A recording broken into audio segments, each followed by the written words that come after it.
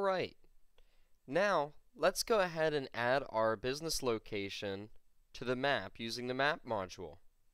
So if we click map on the nav bar, it's going to take us to where we can add our locations. And what's really cool about MobileDeck is that if your business has multiple locations, no problem. Our app can list all of the different locations you have.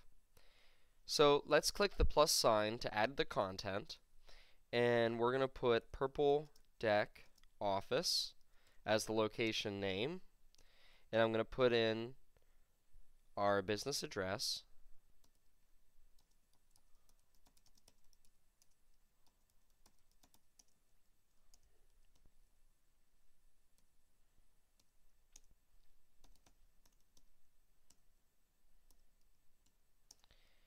And the directions are in the WTS Education and Conference Center. So once we have that added in, we hit the green check mark, of course, to save. And now it's updated on our live view.